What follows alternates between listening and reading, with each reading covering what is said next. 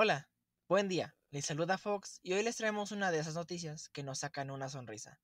Pedrito Sola lo hizo de nuevo. Esta vez cometió un pequeño error en ventaneando con la representante de México para Miss Universo 2024, María Fernanda Beltrán. Si quieres saber qué pasó, quédate y dale like.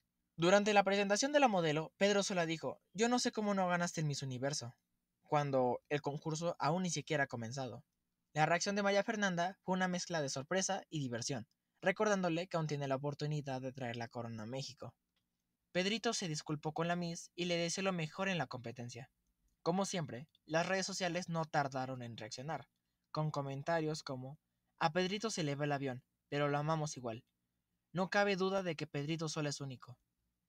Así que ya saben, a seguir a María Fernanda y apoyar a nuestra representante en Miss Universo. Deja tu comentario sobre este momento épico y no olvides suscribirte. Se despide Fox y nos vemos en el próximo video.